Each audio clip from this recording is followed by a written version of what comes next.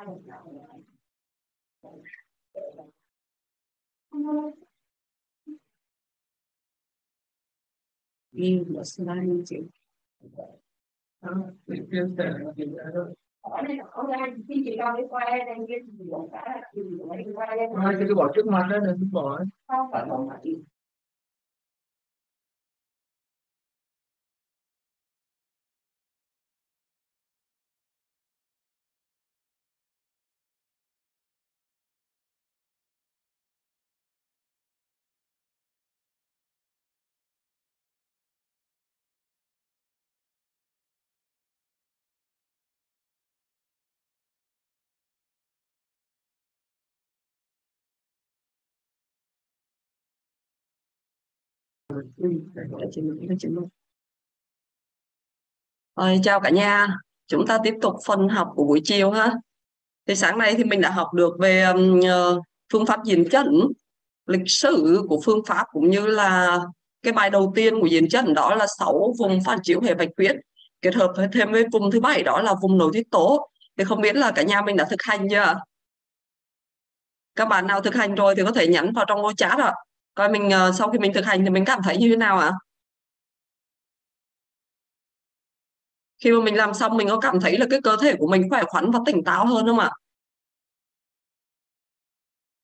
à, và có một số tình trạng ví dụ như người bị lạnh hay người bị nóng thì chúng ta có thể áp dụng cho những người khác rồi để chúng ta kiểm tra về cái hiệu quả của phương pháp như thế nào à, và trong buổi chiều ngày hôm nay thì Lan sẽ cùng ờ, chia sẻ với các à, anh chị và các bạn đó là về ờ, phần ờ, diễn chất để hỗ trợ những cái tình trạng về cuộc sống như là đau thắt lưng này vai cổ gáy nè. Và à, tình trạng đó, đó là hỗ trợ cho các cái, cái cơ quan nội tạng trong cơ thể nhé đó là cái phần chiều nay mà mình sẽ chia sẻ.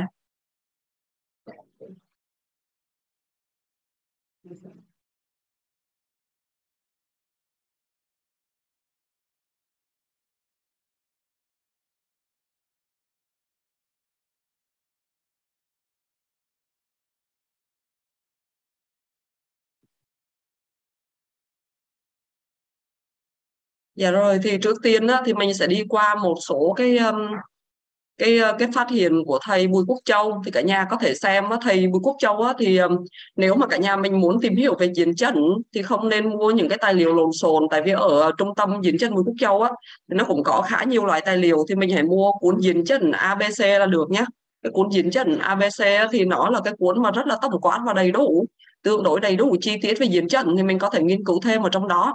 À, và à, có rất là nhiều ờ, thầy tìm ra rất là nhiều phương pháp chữa bệnh theo diễn trận nhưng mà trong ờ, buổi chiều ngày hôm nay thì mình chỉ chia sẻ một phần nhỏ thôi. Đó là các cái sơ đồ phản chiếu. Thì trong cái quá trình mà thầy tìm hiểu này thầy thực hành và tìm tòi thì thầy phát hiện ra um, sự phản chiếu của các cơ quan nội tạng lên trên da mặt của mình cũng như là lên các cái cơ quan khác thì cả nhà mình có thể xem qua một số cái đồ hình này. Tại vì khi mà mình um, áp dụng phương pháp diễn chẩn để mình trị liệu á thì uh, có một cách đó là chúng ta sẽ tác động trực tiếp lên vị trí đau đó và một cách nữa là chúng ta sẽ tác động theo các sơ đồ phản chiếu. Vậy thì mình cần phải nắm được sơ đồ phản chiếu ví dụ như mình hiểu được cái cơ quan nào là nó nằm ở đâu. Nếu mình gặp cái vấn đề về cơ quan nào thì mình cần phải tác động ở đâu thì mình cần phải biết cái sơ đồ phản chiếu ha. Đây cái sơ đồ phản chiếu đầu tiên đó, thì cả nhà thấy là cái đồ hình phản chiếu thái cực đồ trên mặt có nghĩa là cơ thể mình là sẽ có phần âm và phần dương đúng không ạ? Giống như sáng nay Lan nói là bên trái sẽ là âm và bên phải sẽ là dương. À, sơ đồ thứ hai là đồ hình phản chiếu ngoại vi trên cơ thể cơ thể trên mặt thì cái đồ hình này mình sử dụng rất là nhiều. Và sáng nay thì mình cũng đã có học qua cái đồ hình này rồi.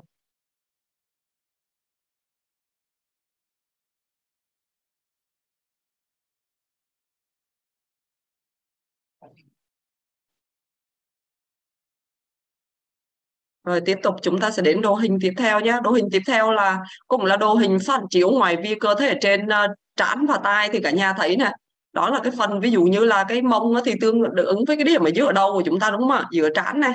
Rồi đó, ở phía dưới đi xuống cái chân mày là cái cẳng chân này đó, rồi có cái cánh tay vươn về phía trước, thì ờ, người ta gọi là cái sơ đồ này là sơ đồ cúi đầu le lưỡi nha. Rồi tiếp theo là đồ hình phản chiếu ở trên ờ, da mặt.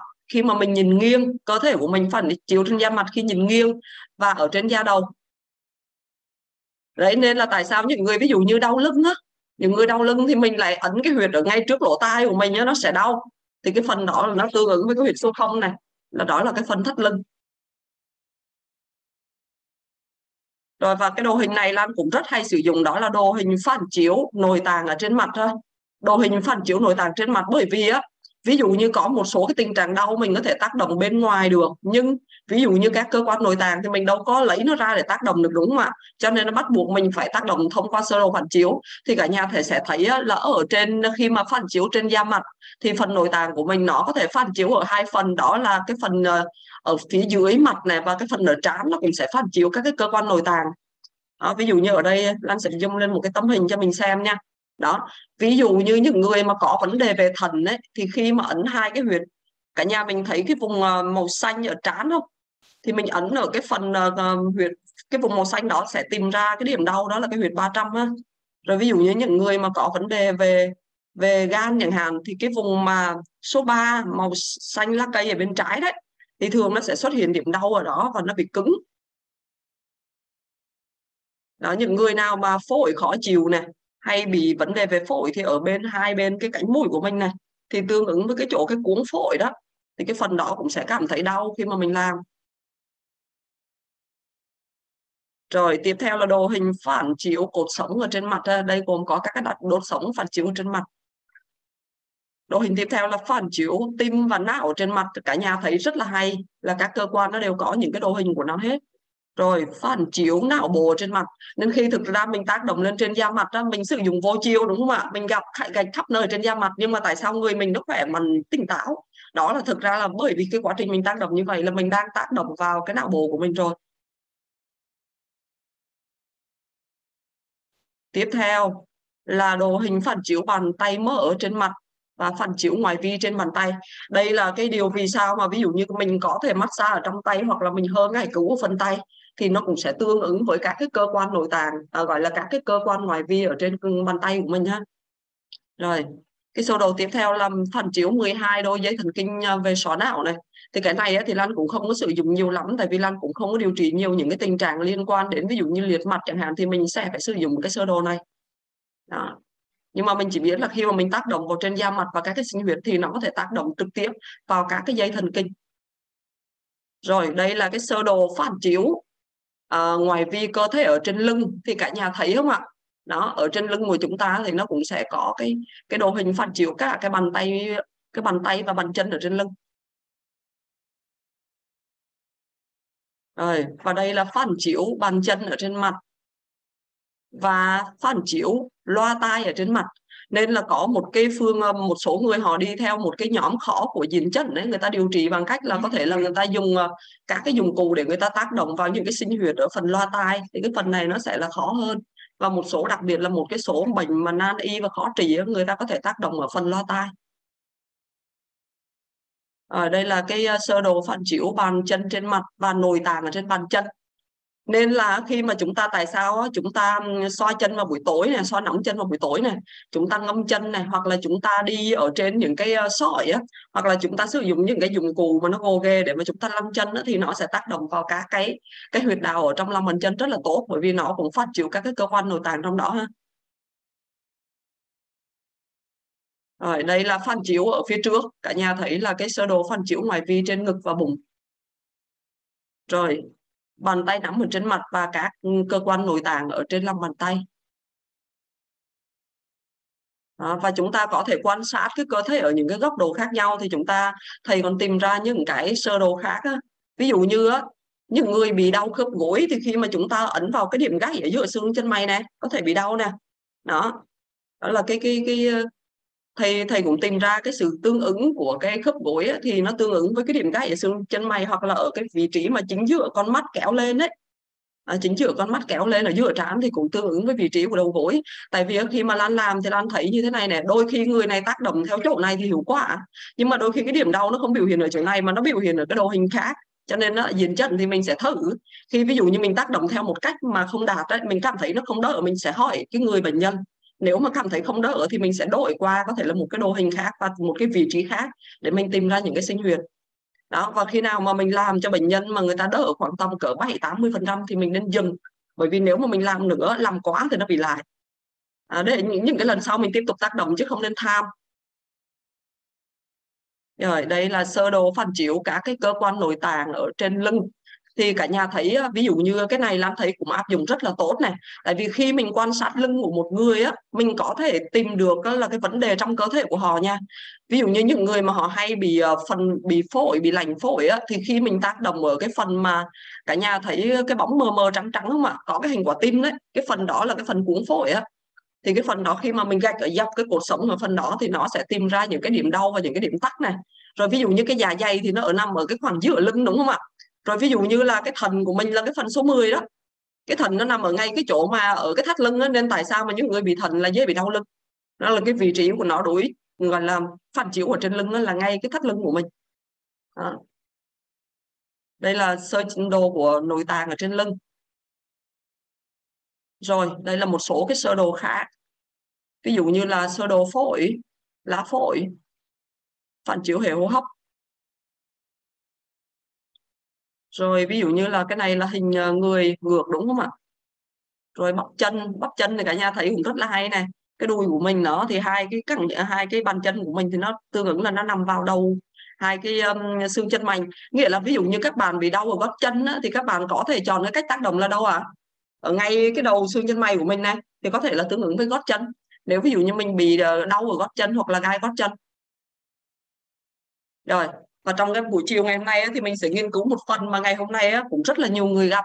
Đó là những tình trạng liên quan đến đau phần cột sống và vai gáy. Đồng thời là mình sẽ học với cách đó là hỗ trợ cho cái các cơ quan nội tạng trong cơ thể mình sẽ hoạt động tốt hơn. Đây. Vậy thì á có rất là nhiều cái cách thức trị liệu ở trong à, uh, diễn chất nhưng mà Lan hôm nay Lan chia sẻ cái cách mà mình thường áp dụng. Còn uh, cả nhà mình có thể học thêm ở trong cuốn diễn chất ABC nha để mà mình phát triển thêm. Thì đầu tiên á, có thể sử dụng cái cách thức đó là tác động các huyệt đồng ứng ở trên mặt. Thì mình sẽ học cái phần này. Hoặc là tác động trực tiếp tại vùng đau, ví dụ như thế nào ạ? Mình đau ở phần vai gáy, đúng không ạ? Thì mình sẽ sử dụng những dụng cụ và những kỹ thuật để tác động trực tiếp lên vùng đau luôn. Hoặc là mình sẽ tác động lên những huyệt đông ứng của cái phần vai gáy ở trên mặt. Ví dụ như vậy à, và sau khi ví dụ mình tác động trực tiếp lên vùng đau mình uh, dùng các cái dụng cụ rồi mình ấn huyệt massage ở vùng đau chẳng hạn rồi sau đó thì mình sẽ hơ ngại cứu để có thể là tác động sâu sâu hơn và hỗ trợ cho cái việc là máu huyết lưu thông tốt hơn ở cái khu vực mà mình mới tác động. Đó thì đây là một số cái kỹ thuật mà thường áp dụng là tác động huyệt đồng ứng trên mặt và tác động trực tiếp ở trên vùng bị đau. Rồi vậy thì mình sẽ học. Đối với phần mà vai gãy thì tác động các huyệt đồng ứng, vai gãy và cột sống nha, tác động các huyệt đồng ứng trên mặt này. Thì cả nhà thấy cái phần vai gãy của mình, cái sơ đồ hồi nãy đó, để lan trượt lại chút xíu, cả nhà mình xem trên sơ đồ này nè, thì mình có thấy là cái phần vai cổ gáy đó tương ứng với cái phần mà ở chính giữa trán và hai cái xương chân mày của mình không ạ? Thì ở trên cái sơ đồ này là nó là phản chiếu như vậy. Thì dẫn đến khi mà chúng ta tác động vào các cái huyệt này, thì chúng ta sẽ sử dụng là dụng cụ trong cái phương pháp này thì chúng ta sẽ sử dụng là dụng cụ mà có một cái đầu nhỏ như thế này. Đây, cả nhà có thể quan sát nha. Đầu này có thể sử dụng có nhiều dụng cụ của diện chất. Có cái đầu này mình có thể sử dụng cây giò dây ha. Cây giò dây hoặc là cái ờ, dụng cụ như thế này thì một đầu là giò dây, một đầu là nhất dương chỉ thì nó nhỏ hơn nữa. Nó mỏng hơn nữa. Và cái này đầu này sử dụng, phải biết sử dụng chứ không nó sẽ đau. Đó. Rồi hoặc là mình có thể sử dụng một số cái dụng cụ khác. Miễn là có cái đầu này ha. Là mình có thể là dùng để ấn huyệt. Ờ, đầu này gọi là đầu dây ấn huyệt. Thì đối với một cái huyệt có nhiều cách thức tác động mình có thể dây hoặc mình có thể thường là có có khoảng ờ, ví dụ như mình có thể tác động theo các cái kỹ thuật khi sử dụng cái cây này. Một là mình sẽ ấn giữ 30 tiếng đếm. Đó ví dụ như mình muốn ấn cái huyệt đầu xương chân mày đi mình sẽ ấn giữ 30 tiếng đếm đó là cách đầu tiên. Cách thứ hai đó là như thế nào ạ? Mình sẽ gạch gạch 30 uh, ờ, cái ha tại vì có những cái huyệt đó mình không xác định được chính xác mà mình chỉ biết nó nằm ở trên cái đường đó thôi. Có một số huyệt ở trên mặt mình là nó nằm lỡ cỡ nó không có cái cái định vị chính xác được đó, thì mình biết nó không chính xác được. Ví dụ như một số cái huyệt ở trên mũi này thì mình cứ gạch gạch gạch dọc sống mũi là chắc chắn sẽ đi qua cái huyệt đó. Cái cách này là nó nó nó sẽ dễ hơn là mình ấn trực tiếp. Rồi cách thứ ba nữa là mình sẽ muốn nhanh thì mình sẽ sử dụng là kỹ thuật là ấn nhún. Khi mà mình ấn nhún ví dụ như một cái huyệt này mình ấn nhún mình nhún ba cái nhưng mà mình sẽ ấn sâu nên là nó đau, giật mình, nhưng mà nó nhanh. Đó, mình nhún ba cái như vậy. Đó, có thể là một là ấn giữ 30 tiếng đếm, thứ hai là mình gạch qua cái huyệt đó 30 cái, hoặc là mình ấn nhún ba cái. Đó là cái kỹ thuật tác động vào huyệt. Bằng cây bằng ờ, bằng cây giò dây cây này gọi cây giò dây. Rồi, đối với cái phần mà vai cổ gáy thì chúng ta sẽ có cái huyệt này 188 477 34 97 98 100 và sau khi chúng ta ấn các cái huyệt này chúng ta sẽ dán cao lên các cái huyệt này. Vậy thì chúng ta sẽ cùng tìm hiểu một chút về cái phương pháp dán cao của diện chẩn và những cái chỉ định cũng như là chống chỉ định của phương pháp nha chứ không phải ai mình cũng sẽ dán rồi đây là tác dụng của dán cao. Thì cả nhà thấy nè khi mà mình dán salapat á, nó có nhiệt nên nó sẽ lưu cái thời gian tác động lên cái huyệt đó lâu hơn. Đó kéo dài thời gian tác động của huyệt tại vì nếu mà mình ấn rồi mình nhả ra thì cái thời gian tác động nó sẽ giảm, đúng không ạ? Nhưng mà mình mình mình giảm cái cao nó nóng á, thì nó làm nóng cái huyệt đó và nó sẽ kéo dài cái thời gian tác động của huyệt thứ hai là những bệnh, bởi vì cao là nó có tính nóng, đúng không ạ? Nên mình sẽ sử dụng nhiều cho các bệnh là do lành gây nên này, rồi những cái chứng đau nhức dữ dội không rõ nguyên nhân, rồi mất ngủ, cơ thể suy nhược. Những người mà có quá nhiều bệnh, mình sẽ sử dụng phương pháp giãn cao để tăng cường tác động lên huyệt và những cái bệnh liên quan đến ví dụ như là bị mụn, bị mủ này, đó, những cái bệnh tràn dịch rồi mụn mủ thì chúng ta có thể áp dụng cái phương pháp này. Đối tượng sử dụng thì mình sẽ thấy là mình sẽ nên áp dụng cho những người là huyết áp thấp, những người cơ thể là bị hàn, bị lành ở đây ai hàn lành ạ? À? dạ cứ ngồi quạt, ngồi trước quạt hay nằm trên nền nhà lạnh là mình khó chịu đó. Rồi, những người có cơ thể cân bằng nhưng mà mình có thể tận dụng sức mạnh của việc ừ, giảm giãn cao để lưu lưu lưu cái tác động lâu trên các cái sinh huyệt người cân bằng dùng được người lạnh dùng được nhưng những người mà thể chất hiện tại đang nóng á, đang gặp một vài vấn đề về nóng thì mình không nên sử dụng là giãn cao. Đó đối tượng không nên sử dụng là người nóng nhiệt này người huyết áp cao này những người hay bị táo bón những người có làm da mẫn cảm dị ứng. Tại vì khi mình giãn cao mà da mỏng và mẫn cảm á, có thể sẽ gây kích ứng nó nóng và những em à, bé dưới 3 tuổi thì không nên sử dụng là phương pháp dán cao. Đây là một vài cái chú ý về phương pháp dán cao. Không dán cao thì sao ạ? À? thì mình chỉ tác động cái phần đó là mình tác động lên huyệt bằng phương pháp là sử dụng dụng cụ diễn chậm thôi.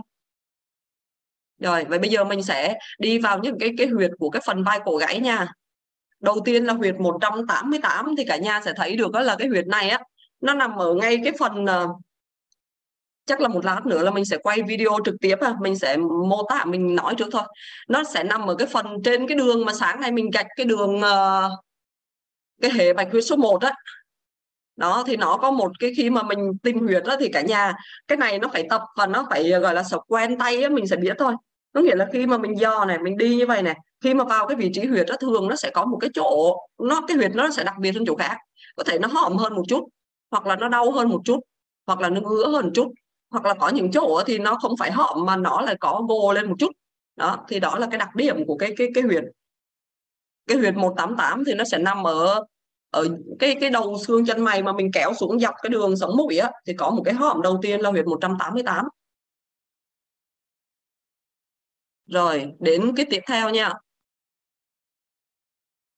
Huyệt 477 thì cả nhà sẽ thấy là nó nằm ở trên cái xương chân mày cái xương chân mày của mình mà xách vào phía trong, ở phía trên một chút xíu.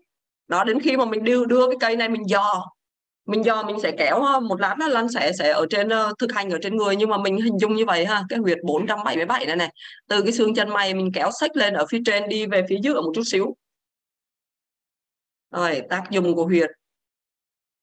Tác dụng của huyệt 477 là nó sẽ là gì ạ? Trấn thống có nghĩa là nó sẽ làm giảm đau vùng bả vai, bàn chân, ngón chân đó hồi nãy là có nói là cái vùng mà cái cái phần gót chân và cái bàn chân của mình cũng tương ứng với hai xương chân mày nên cái này nó cũng tác động luôn. Rồi điều hòa khí huyết ở não, đó, chủ trì này đau nhức bả vai ở vùng huyệt kiên tĩnh nhức đầu, nhức bàn chân, bướu cổ, một cái huyệt nó sẽ có nhiều cái tác dụng. Cái huyệt tiếp theo là huyệt 34 huyệt 34 thì hồi nãy từ đầu cái xương chân mày đúng không ạ? Mình kéo về phía trong á, thì cái huyệt 34 thì cả nhà sẽ thấy là nó nằm vào vị trí từ cái đầu xương chân mày mình kéo lên phía trên này một chút xíu. Đó, mình quan sát trên hình một lát nữa mình sẽ coi cái cách tìm ha. Rồi, cái huyệt này thì có tác dụng này, nhiều tác dụng và Lan thấy nó sử dụng ở trong nhiều cái bộ, nhiều bộ huyệt của thầy Bùi Quốc Châu. Đó là ổn định về thần kinh này làm giảm đau này điều hòa nhịp tim này tăng thị lực, chống co cơ. Rồi tương ứng với dây thần kinh thị giác. Nên là những người nào có vấn đề về thị giác, rõ ràng là mình sẽ phải tác động vào huyệt ba tư nha đó chủ trị những cái vấn đề là mất ngủ nhức đầu, suy nhược thần kinh, đau bàn chân, ngón chân, nhức mỏi bả vai, rồi tim dạ dày, mờ mắt, nhức răng hoặc bẹ. Tiếp theo huyệt 97 huyệt 97 nó nằm dọc dọc theo cái bờ trên của xương chân mày nha cả nhà huyệt 97 điểm nối 1 phần 3 trong và 2 phần 3 ngoài của đoạn từ đầu mày đến đích mày đó thì cả nhà thấy là ví dụ như cái xương chân may của mình từ đầu may đến cái đỉnh cao nhất của may á thì mình lấy là khoảng 1 phần 3 thì nó sẽ là cái huyệt 97 rồi tác dụng của nó này tác dụng của nó thì nó có cái tác dụng là do cái sơ đồ phản chiếu nó có cái cơ quan sinh dục của phụ nữ ở đây nên nó có tác dụng làm thông vòi trứng nè. Đó rồi uh, là giảm đau cái phần bờ vai khớp vai cánh tay chân. Đó làm nhuận trường. Rồi. Tiếp theo là huyệt 98 nha. Huyệt 98 thì nó nằm ở điểm cao nhất của cái xương chân mày của chúng ta, điểm cao nhất. Rồi tác dụng của nó thì ở chỗ đó thì cả nhà thấy nó tương ứng với trên cái đồ hình của mình là nó tương ứng với cái khuỷu tay. Nên nó sẽ là làm giảm đau cái vùng khuỷu tay nếu những người nào bị tình trạng mà đau hoặc nhức ở cái phần khuỷu tay này. Nhuận trường chủ trì là mất ngủ, táo bón, đau khuỷu tay. Huyệt 98 tiếp theo là cái huyệt 100 là ở chỗ lõm cuối xương chân mày. Huyệt 100 này thì tác dụng của nó là an thần, giảm đau ở vùng thái dương gãy cổ tay. Đó, có tác dụng cả điều hòa huyết áp tim mạch này, làm khỏe tim, hạ sốt. Trời và chủ trì ở những cái tình trạng ví dụ như là suy tim đắng miệng vèo cố sốt mất ngủ nhức đầu. Nên là tại sao nhức đầu á? Mình hay ấn những cái huyệt ở vùng thái dương á là nó sẽ đỡ.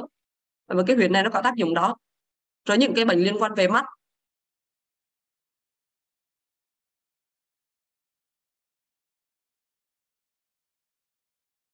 Rồi. Xong cái phần uh, vai gãy và cổ đúng không ạ? Thì sau đó chúng ta sẽ đến cái cột sống. Cột sống thì nó chia thành nhiều đoạn thì cả nhà sẽ thấy ở trên cái sơ đồ này à, mình thấy ở cái ừ, trên ờ, cái đồ hình bên phải không ạ? Cái đồ hình bên phải thì cả nhà thấy là cái đốt sống cùng cùng, cùng cụt đó nó tương ứng với cái đoạn nào ạ? Cái phần nằm ở cái đoạn mông của chúng ta đúng không ạ? Thì ờ, nó sẽ nằm ở đó ở cái phần mà bầu mũi ở phía dưới này. Và nó sẽ ở trên đây nó sẽ có huyệt là mình một lát mình sẽ ấn huyệt số 23 143 và huyệt số 19 là thuộc về là đốt sống cùng cột đó đây cái phần đột sống cùng cột cả nhà thấy các cái huyệt của nó này. Một cái huyệt nó sẽ nằm ở cái mặt dưới của mũi ở cái mặt ở phía dưới này này. Là huyệt số 143 ở phía dưới của mũi huyệt số 19 là ở đâu ạ? À? huyệt số 19 là cái rãnh của đường nhân trung đi lên giao với cái phần mũi á, thì đó là huyệt số 19 và huyệt số 23 là cái huyệt đó nó nằm ở trên ờ, ở ngay ờ, cái điểm cao nhất của mũi trượt lên chút xíu là huyệt số 23 rồi, tiếp theo.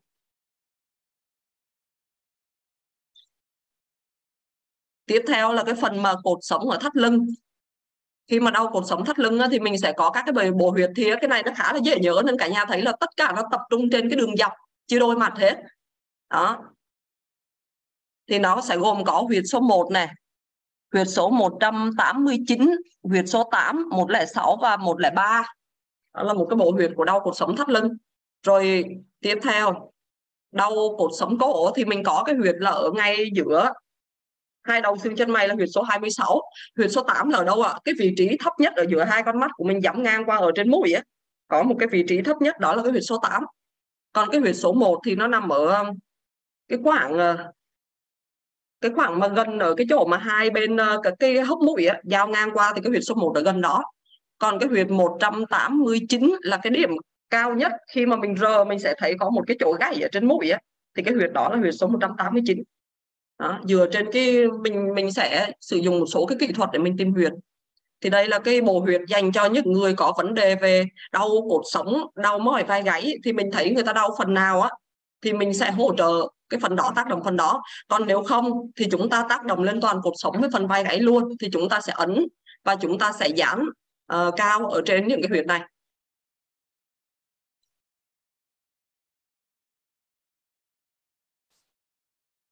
Đó, cả nhà nhìn thấy cái mặt mấy trăm cái huyệt là thấy sờ chưa rồi tiếp theo nha chúng ta sẽ đến chúng ta sẽ học luôn rồi chúng ta sẽ thực hành nha phần hỗ trợ nội tạng. Hỗ trợ nội tạng thì hôm nay mình chỉ học về tam giác gan tam giác tỳ và thần thôi tam giác gan tam giác tỳ và thần này cả nhà sẽ quan sát nha. Cái phần tam giác gan gan là cái phần mà màu xanh hơi màu xanh lá cây á, cái số 3 đây cái phần số 3 đó. Ở bên um, trên mặt mình thì nó sẽ nằm về bên phải. Nó nằm ở bên cạnh hốc mũi bên phải thì đây là cái phần gan phần màu xanh lá cây đó. Và còn có một cái sơ đồ phản chiếu nữa thì nó nằm ở phần trán nhưng mà thường thì Lan hay tác động ở cái phần ở phía dưới hơn. Rồi tiếp theo phần tam giác tỳ. Tam giác tỳ thì thường là ở bên đông y người ta còn gọi là lá lách đó. thì cả nhà có thể quan sát ở cái cái sơ đồ mà Lan có vòng sắt đây này. Cái tam giác gan thì nằm ở bên phải cánh mũi đúng không ạ? Thì cái tam giác tỳ thì nó nằm ở bên trái cánh mũi. Còn hai cái huyệt thần hai cái huyệt thần thì nó sẽ tương ứng với hai cái vùng màu xanh da trời ở hai bên ở trên uh, trên trán này thì ở đó là có cái huyệt 300 là huyệt thần những người nào bị về thần thần yếu, thần ứng nước hay tiểu đêm gì đấy, mình ấn hai cái huyệt này đều rất là đau. Rồi, thì ngày hôm nay mình sẽ học về hỗ trợ nội tạng, mình học tam giác gan, tam giác tỳ và thần thôi.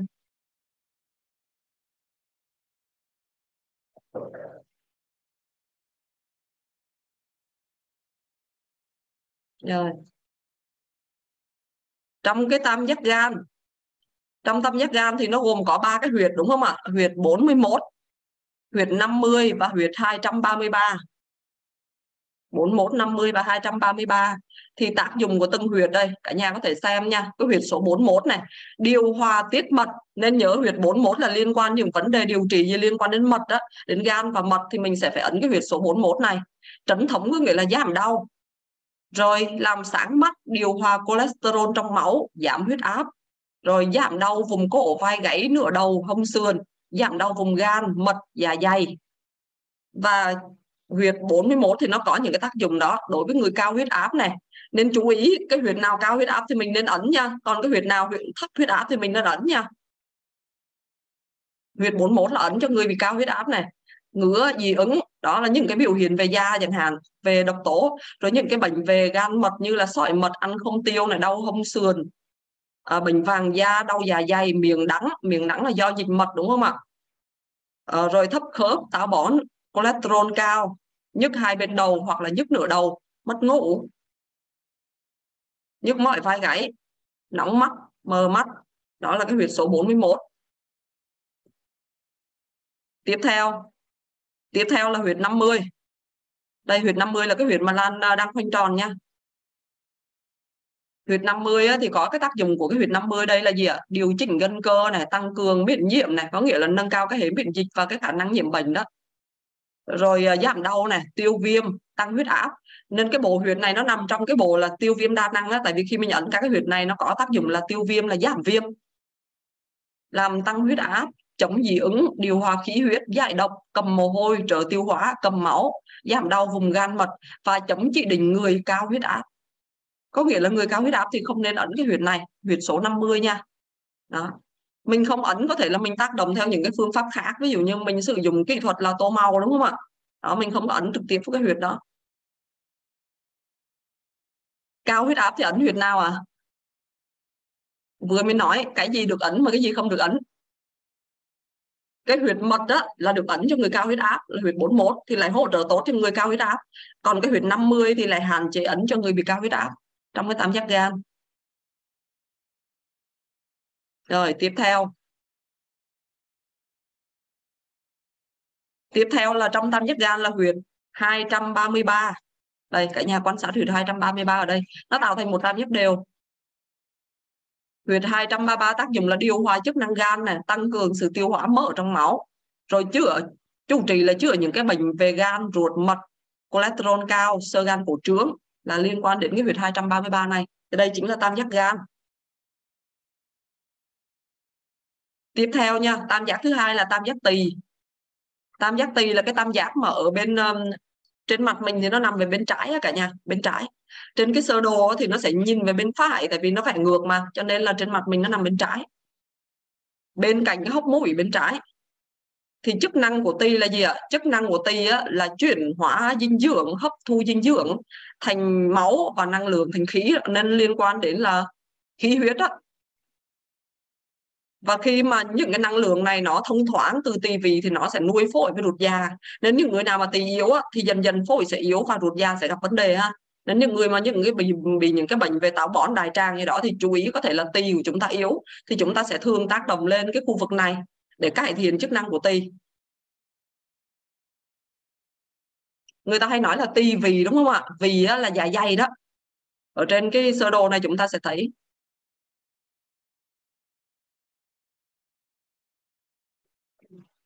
Đây.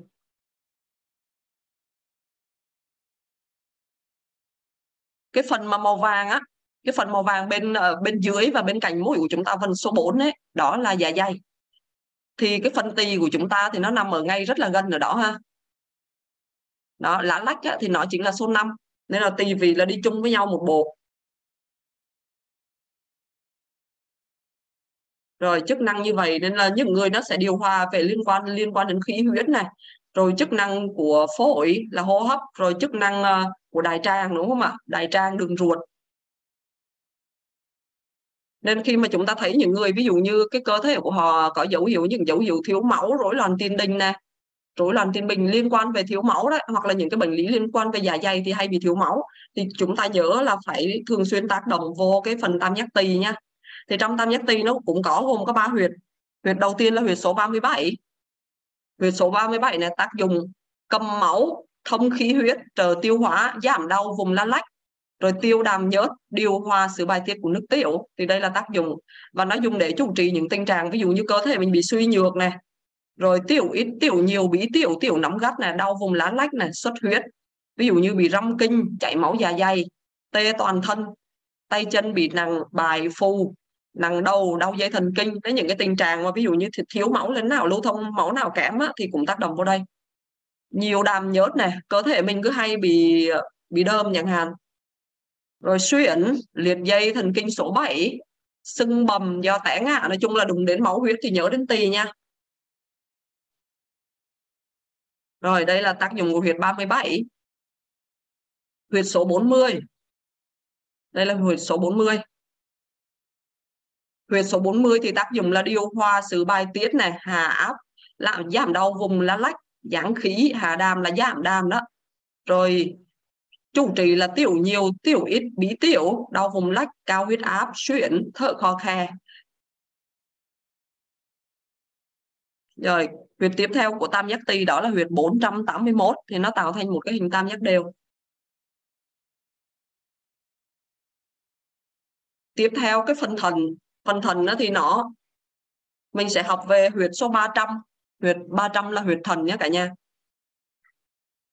cái vị trí xác định của cái huyệt 300 này á thì mình sẽ xác định như thế nào ạ? Nó là nằm ở phía trong trong đen của con um, có nghĩa là trong trong trong đen của con con mắt mình á thì cái tiếp tuyến ở phía trong này kéo thẳng lên. Và trán của chúng ta từ giữa trán đến cái um, gọi là cái đỉnh trán này từ giữa hai xương chân mày đến đỉnh trán chia thành bốn thì nó nằm ở cái đường số 1 từ trên xuống dưới. Đó.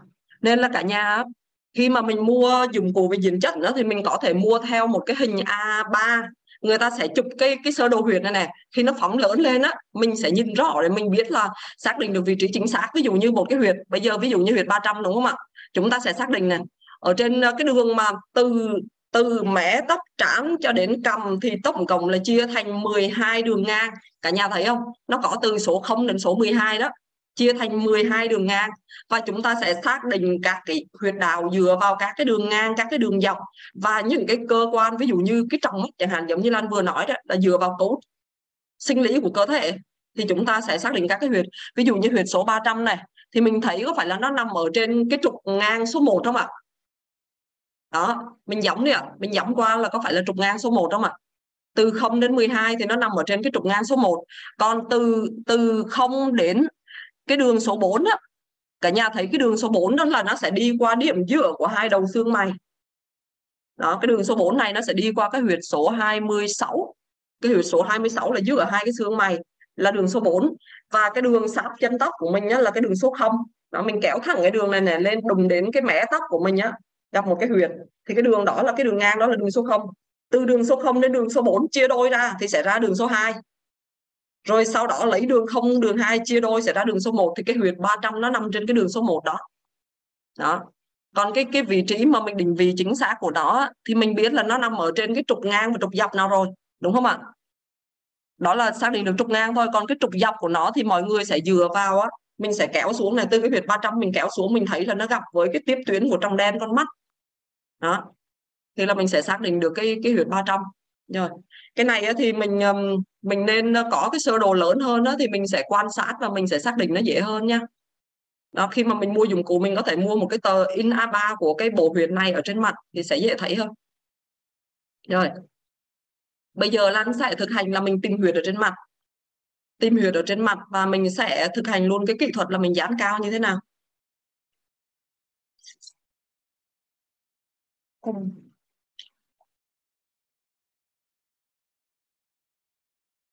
Ngồi thôi thì đứng thì đứng nhé.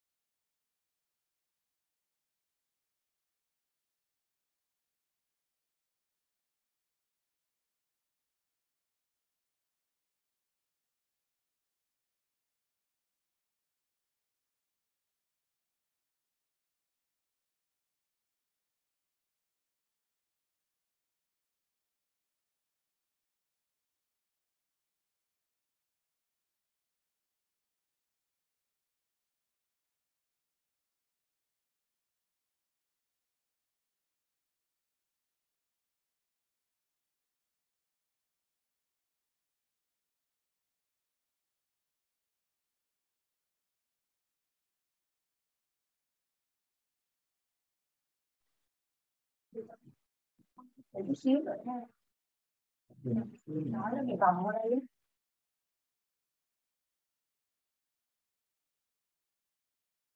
Nhưng mình sẽ sử dụng cái uh, cao giãn salapat này nha để làm nóng để giữ nóng cho dịch và mình sẽ có một dụng cụ là có kéo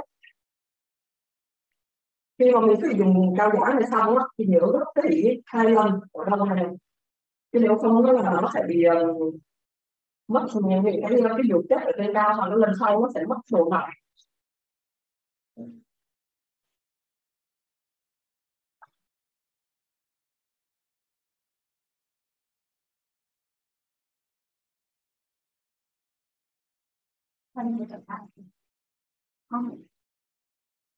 rồi Lam sẽ hướng dẫn cho mọi người cách um, cách cao.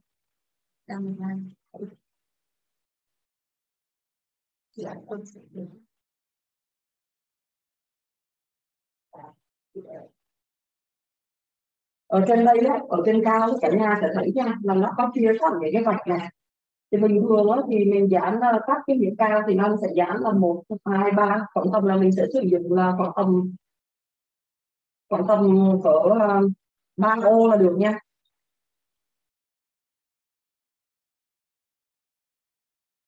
Đó mình sẽ coi ở trên cái phần màu xanh này nó có giảm những ô đó thì mình cắt một lần nó khoảng ba ô là được. Và nhớ cố gắng cắt cái miếng cao cho vuông vức thì khi mình giảm lên á thì về mặt uh, thẩm mỹ nó sẽ được đẹp hơn. Dạ, như thế này. Sau đó thì chúng ta sẽ gỡ ra như thế này nha. À. chúng ta cắt những cái hình vuông rồi chúng ta có thể giảm lên tay mình nhớ là nên vệ sinh cái phần tay mình trước nha.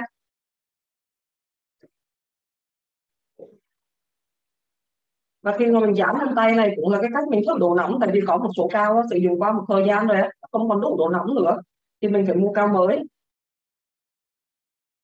Này cả nhà thấy ví dụ mình cắt này, rồi mình à, sẽ để như vậy, mình úp lên đây, đặt như vậy là nó dính lên rồi.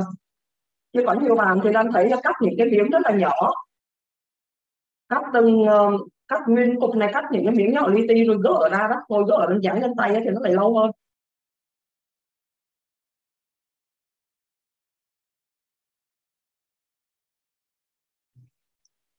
Thì mình có thể ước lượng cái số lượng huyệt mà mình giảm á, thì mình sẽ cắt cái số lượng cho phù hợp. Thì một lần thường thường mà làm giảm nhiều huyệt thì làm cũng chỉ cắt khoảng là hai cái hai cái thanh như thế này là đủ rồi.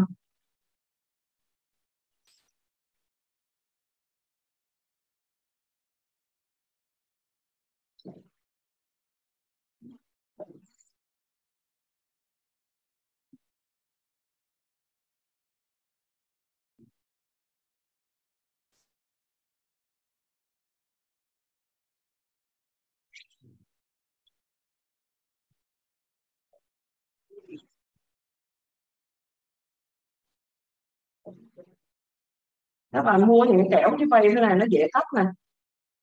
Chứ mua cái kẹo vô trong cái chỗ ờ, tìm ờ, ra uh, Guardian mua cái kẹo bốn mươi mấy ngàn nó ngắn ngắn nhìn rất đẹp nhưng mà cắt thì lại khó. Mình cứ mua cái kẹo học sinh như vậy thôi là mình cắt là ok rồi. Rồi. Thường á thì khi mình không nhớ được cả nhà có thể lưu cái sơ đồ huyệt mình lưu cái sơ đồ huyệt ở trên máy mình rồi sau đó mình có thể ấn theo nha. Việc đầu tiên huyệt 188 mọi người có thể di chuyển người dân quan sát cái cách định huyệt luôn. Rồi huyệt 188 nha. Nó ở đầu xương chân mày này? Khi mà chúng ta kéo xuống một cái dọc theo sống mũi là sẽ ra một cái hõm thì chúng ta huyệt 188 đó, thì mình có thể sử dụng kỹ thuật là ấn nhúng. Đó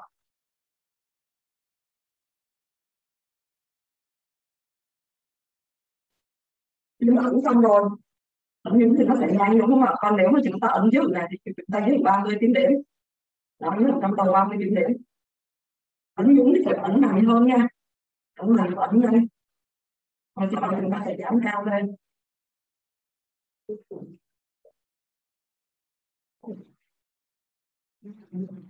Mà không có tự tin lắm về cách ừ, ừ, cách mà tìm hiểu đó, thì mình kẹt ở trên cái đường đó. Như thế thì nó sẽ qua cái việc đó ha quyển số hai là việc bốn trăm mươi bảy. Bốn trăm mươi bảy. Chú ý là cái cái xương chân mày đó là cái cái đầu chân mày là đầu thật nha. Ví dụ như chị ở đây là xong này nên đôi khi cái huyệt của mình nó không có nằm ở đúng đầu xương chân mày đâu. Người bình thường là đầu xương chân mày là cái huyệt nhưng mà cái huyệt của chị đầu xương chân mày nó lại nằm ở đây này. Nó không phải nằm ở trong đây đâu. Nên là mình phải phải ra nha. Đầu xương chân mày ở đây. Cái chuyện cũng nắm bảy bảy nó lên về cái trên. Lên một xíu đó khi mà mình được lên mình sẽ thấy có một cái hộp ở đây. Đây là bốn trăm bảy bảy hai ba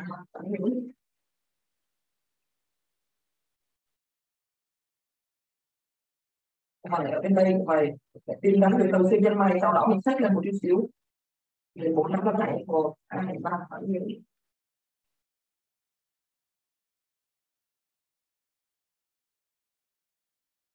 thì mình sẽ ẩn mình sẽ giảm thôi, mình con thoi á. Nhìn cho nó đẹp mình không có dám vuông nha thì theo là việc số 24 thì quá 34 mọi người đã định vị được cái việc đầu tư nhân này đầu tư nhân này mình là cái việc sâu lắm cái việc 34 đó thì nó xách lên ở phía trên chút xíu. Đó, khi mà mình turn lên này, mình sẽ thấy có một cái chỗ đó ở đây. Thì đây thì cái việc 34 một hai ba ở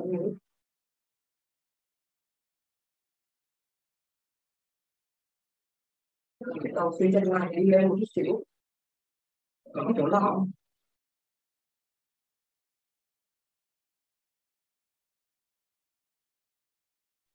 Tiếp theo là số 97 việc số 97 là cả nhà nhớ là đầu xương chân mày này là để lên cái đỉnh cao nhất của xương chân mày nó nằm ở khoảng một phần ba. Đấy, thì khi mà mình đi ra ra cái trên này mình sẽ thấy cái điểm đó đây là cái vị 97 xương mày xương chân mày một hai ba.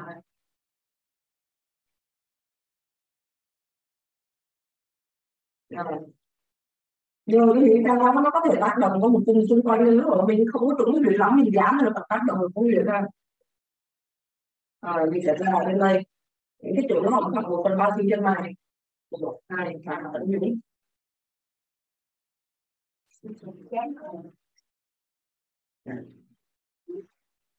Rồi tiếp theo. Quyền số 98 là ở đỉnh cao nhất của sinh chân mày mình ra bên đây quyền số 98 là đỉnh cao nhất của sinh chân mày có cái gì một hai ba